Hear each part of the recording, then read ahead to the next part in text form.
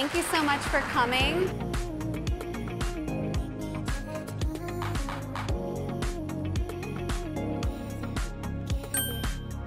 Thank you so much for coming. This is our first uh, Project Accelerate Expo in person.